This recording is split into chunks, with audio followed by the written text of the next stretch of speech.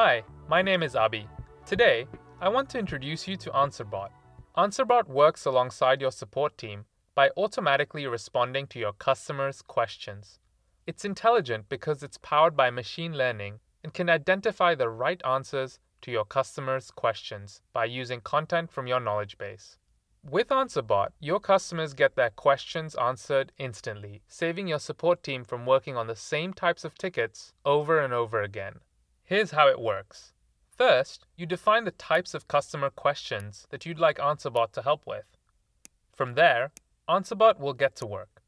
It will look at an incoming question and find relevant answers in your knowledge base. If there are, AnswerBot will send the articles to the customer and ask if it's answered their question.